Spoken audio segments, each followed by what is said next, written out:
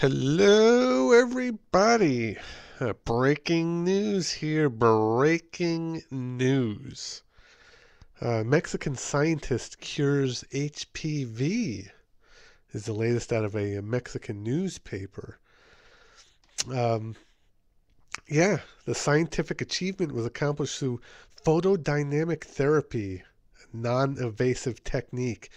So uh, this this lady Eva Ramon Gallegos I guess that's how you say it, a researcher from Mexico, a National Polytechnic Institute, was able to completely eradicate the human papilloma virus, better known as HPV, in 29 patients.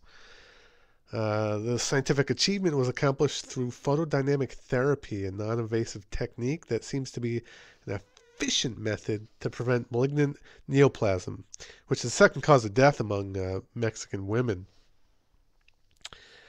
And uh, yeah, says that she uh, she studied the effects of photodynamic therapy for 20 years and said she treated 420 patients in Oaxaca and Veracruz with this method, as well as 29 women in Mexico City. Uh, yeah, she also goes on to explain that besides eradicating HPV, uh, the main cause behind cervical cancer, this photodynamic therapy also used to eliminate pre-malignant lesions of cervical cancer in its first stages.